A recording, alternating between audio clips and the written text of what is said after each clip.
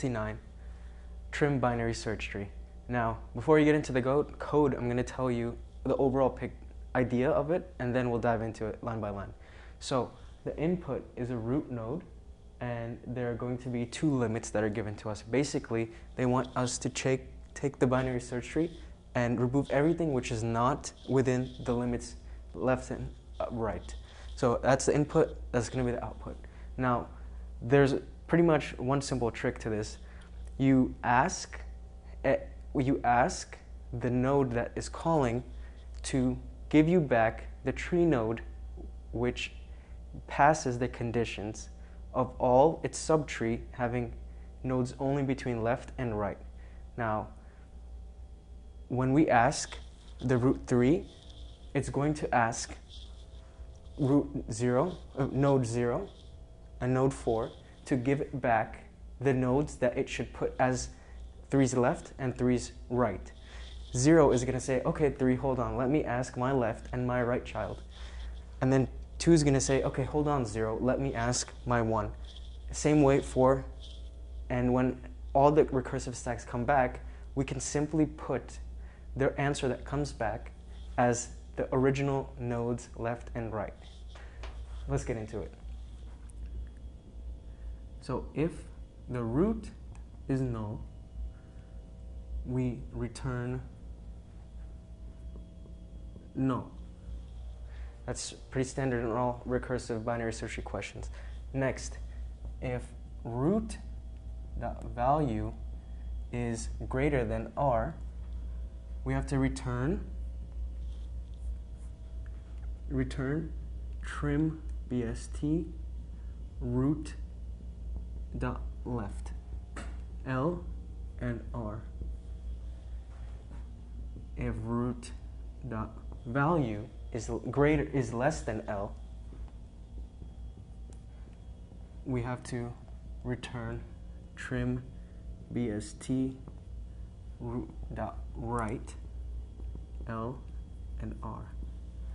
Pretty much what this is saying, when we ask root 3, and if when we ask the original root node, if the value is not within the bounds, the original node is going to say, hey, don't ask me, ask my left child or my, ask my right child based on if the original node is less than L or greater than L.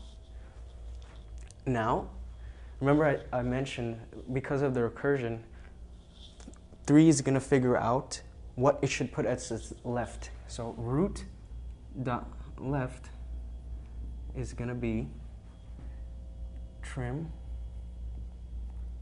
bst root dot left l and r root dot right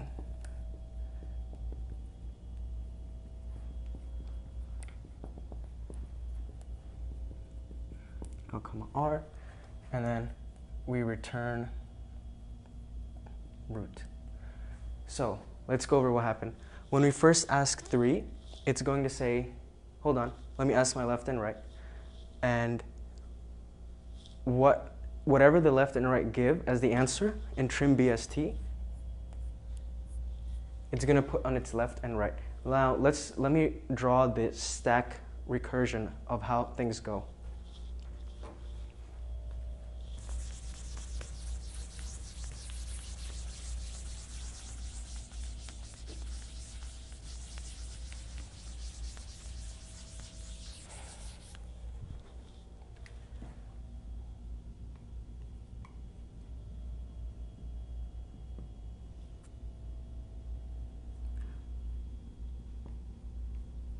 This is us, and we're asking three, hey, with the limits one and three, tell me what sh- should be the ultimate result. Three is going to say, hold on, let me ask. He's going to ask recur zero, one, three. He's going to say recur four, one, three. This guy is going to ask, he doesn't have a left, so he's going to ask his right uh, two, one, three. This guy doesn't have a left, and this guy doesn't have a right. This guy doesn't have is going to return null. this guy is going to return. Oh, he has a left and right, right? Okay. He has a left, yeah. Recur one, one, three is going to be null. So this guy's going to return null. This guy is going to return himself. 1 is going to return 1. And 4 is going to return, is going to get back null, null. Now 2 is going to give back 2 and 1 to 3. And 3 is going to give back this whole output to us. And that's pretty much how you solve LeetCode 669. If you like this video, please subscribe, please like, and share with your friends. Thank you.